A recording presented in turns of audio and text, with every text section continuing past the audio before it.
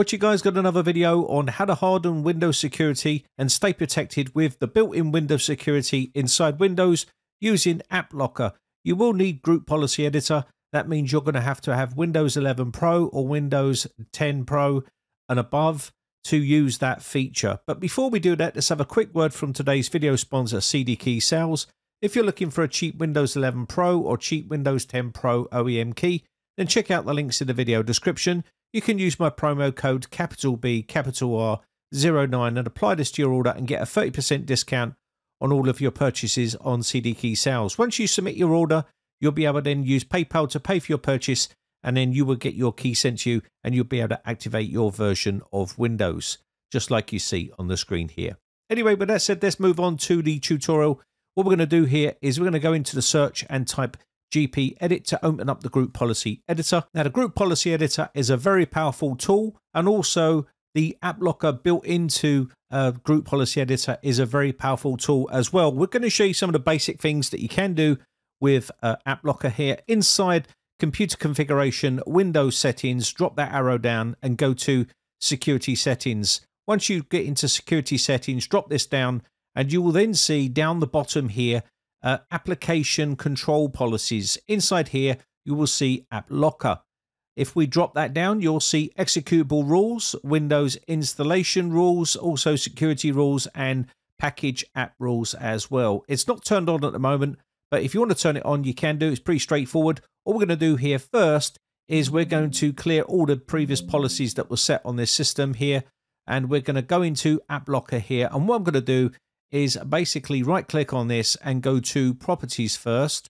So let's go to properties and this will open up the app locker properties. Now you're going to see inside the enforcement area, it's broken down into four sections, executable rules, also Windows installation rules and also script rules. And also we have packaged app rules as well. Now, if you go to the advanced tab here, you've got the DLL rules as well, which you can add in here. And once you've done these, you'll have enforce rules and audit only. Now, it's advisable if you're setting up a, a system to put it onto audit only. And this way you can monitor the system to see if there's going to be any sort of issues and whether everything is working okay before you enforce any sort of rules on that system because you don't want it actually causing any problems with you and you can't run certain applications or anything like that. So make sure you run audit mode first for a while to make sure everything is going okay. So once you've done that, you can check your event viewer for all of the uh, audit mode that you've set. And you can go into this location here where it's in event viewer, applications and services. Inside here, we're going to go to Microsoft, then Windows, and then you should see App Locker right here.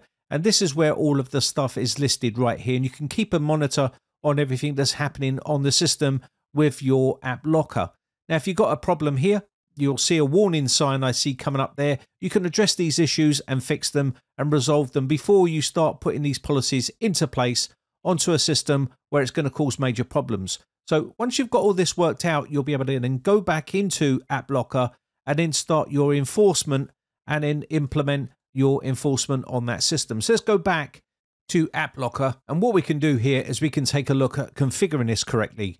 So let's go back to AppLocker here, right click, and what we're going to do is go properties and we're going to turn these audit uh, only to enforce rules because we've now monitored the system and now you can start to enforce the rules and make changes that you need to that system.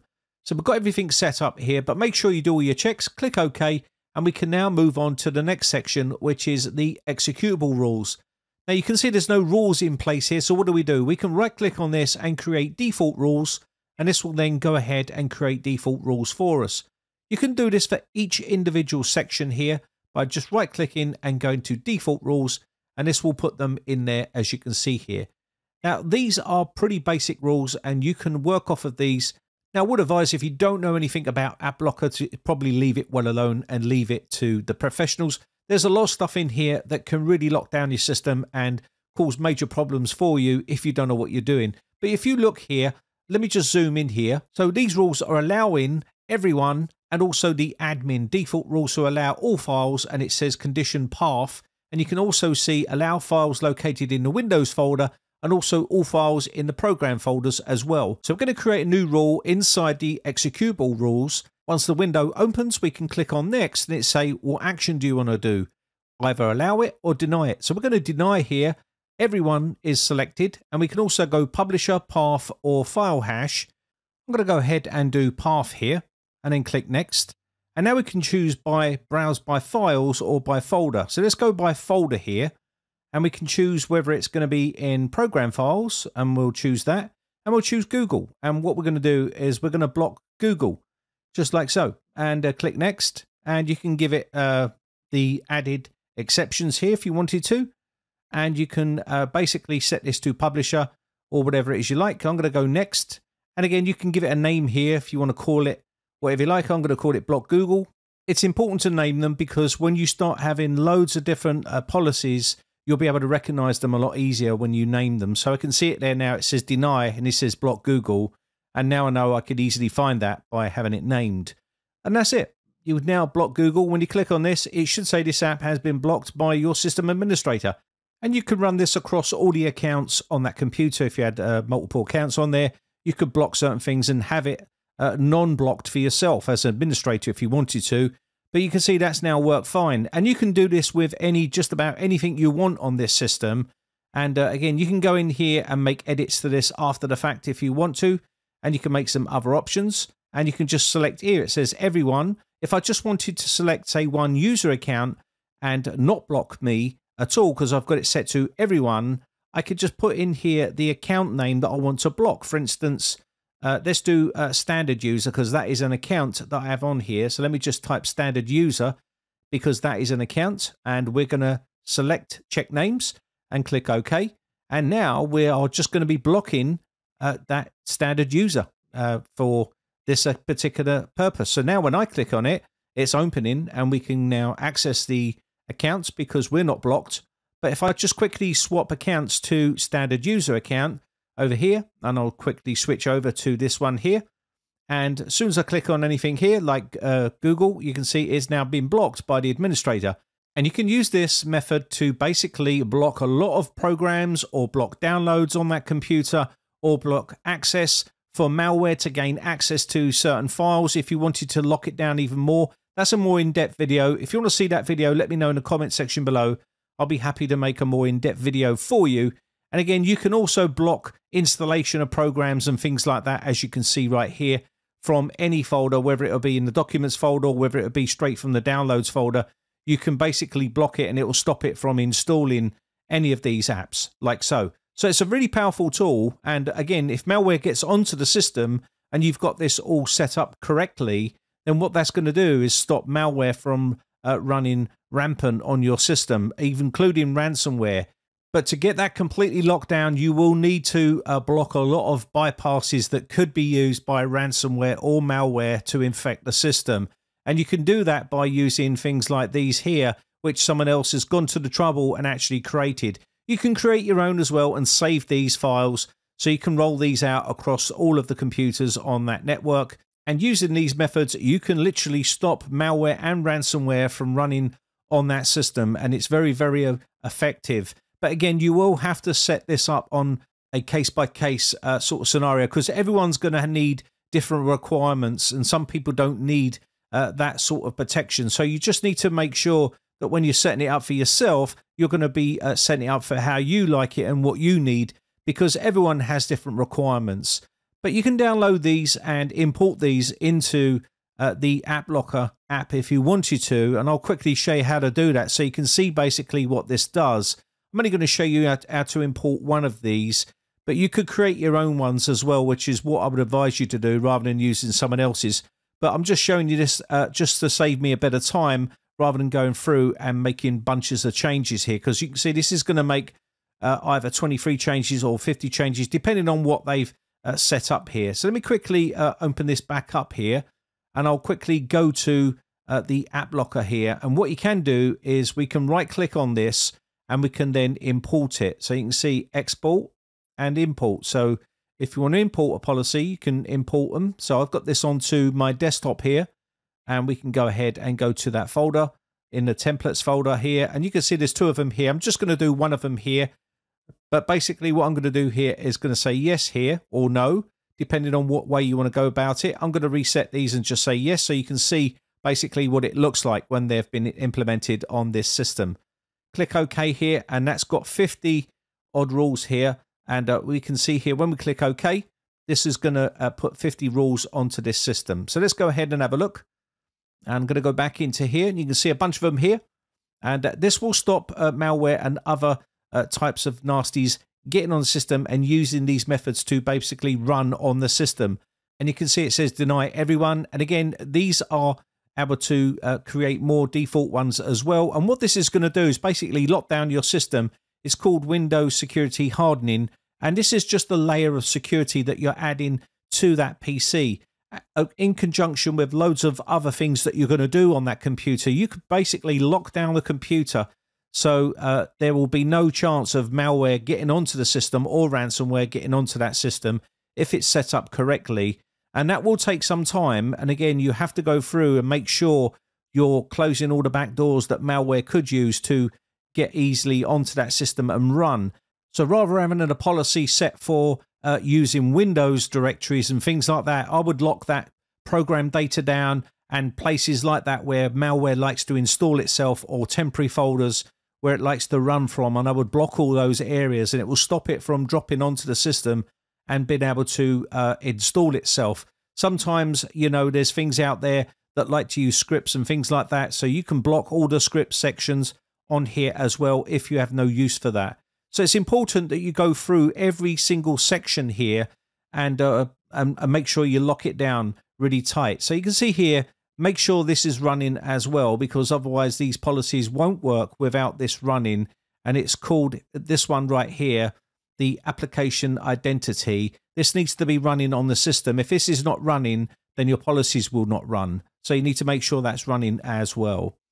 Other than that there's a bunch of them that you can go through here. I'm not going to spend a whole time going through this whole section because it will be hours long and i'm trying to keep this nice and short for you. You've also got the software restrictions area here, which you can use as well. And you've also got the uh, group policy area as well, which you can uh, turn off a lot of Windows settings that you don't need and basically get that system running nice and smooth and have a really good protection on it.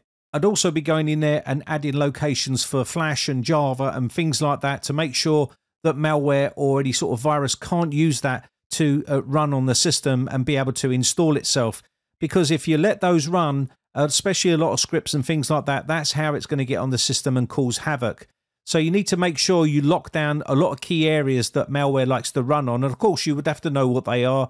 And this is why this is more an advanced video for people that know how to use this sort of stuff. And uh, again, if you want to see a more in-depth one, then let me know in the comment section below. I'll be happy to make a more in-depth one on this. It's just whether people are going to watch it. That's the only thing. And uh, if no one watches this sort of video, I'll know that people are not interested in this sort of stuff. Now, sometimes setting these up can be a bit of trial and error. You need to try some of these things out to make sure they're functioning okay, and that's where the audit mode comes in. Now, another good resource for hardening your Windows security is the GitHub here. I'll leave a link in the video description for his website. But basically, once you lock your system down, it should be impossible for the person on that standard user to open up group policy, to take away the settings, or even download stuff that you don't want them to, or block applications and things like that because they won't have permission uh, to do it because you've locked it down. So let me show you this other site here quickly, which is this fella here who does a pretty good job at offering you the Ultimate AppLocker bypass list. There's a bunch of them inside here. I'll quickly show you where you can download them. And you can download these and test them on your system. You will need to test them because this fella has actually said that these have not tested uh, on every environment. So you will need to do your own testing but he has left the uh, links for the files up there so you can download them, and they are for the DLL files, uh, executable files, and things like that. It even shows you how to import them, and they're pretty straightforward on how to do it. And I'll quickly show you one of these so you can see. But he's got a full list here for all of these uh, to actually block anything from uh, being used. So you can see here, download these like you're doing here. Obviously, do all this at your own risk. Um, you will need to uh, have administrative privileges to run these on a system, and I would definitely not do this on any sort of work network or workstations that you are at work with. You need to check them first. And if you don't know what you're doing with this sort of stuff, then leave it well alone. I'm just going to download these, and uh, what we'll do is I'll show you how to quickly import one of these uh, as well, and it will basically create its own list. And then you can basically uh, add these alongside the other ones so you're not overwriting them every time. And that way you have all of this locked down really nice and tight. But these should save you a lot of time going in and doing this manually yourself uh, because it's probably took him a long time to get these uh, compiled so he can share them with you guys. And uh, they haven't been updated for quite some time. Uh, five years ago, I think, was the last time that these have been updated. But again, uh, they'll probably still be very useful for people that don't want to go through and do all this manually. And you can read the article. I'll leave the link in the video description for you so you can go through and read it up uh, at your own leisure and basically uh, implement this if you want to. I wouldn't do this on your own system. I'd be doing this in a virtual environment just to make sure everything works okay so you know it works pretty well and does exactly what you want it to do before you start rolling this out on your own system. So all you need to do here is I've cleared all this up for you. I started off with a fresh, clean uh, one here. I'm going to import one of these and I'll show you basically how to do it. All you need to do is download them and then navigate to the location here. Uh, select which one you want to import, click OK, and it will give you a warning that everything is going to be overwritten and I'm going to just install this on there. Now, obviously, if you've installed other ones, you don't want to overwrite the ones you've just installed. So just so no, and it will install them and you would end up with all of these uh, installed on the system, as you can see here, quite a few of them but you can stop other things like mshta.exe and other things uh, like uh, regedit and also the command prompt. You don't want standard users gaining access to those, and you certainly wouldn't want malware uh, gaining access to those either. Uh, same with scripts, and you've also got jsc.exe and a bunch of other stuff. There's tons of things that you can block, and that's important because you don't want malware exploiting those and using them, especially really powerful things that are built into Windows. Uh, you want to definitely block those, okay? Anyway, I will leave it right there. My name has been Brian from britecomputers.co.uk. Just want to say a quick shout out to all my YouTube members. I appreciate the support. Have a lovely weekend, and I shall catch you in the very next video, or I'll see you on the Discord server for a chat. Bye for now.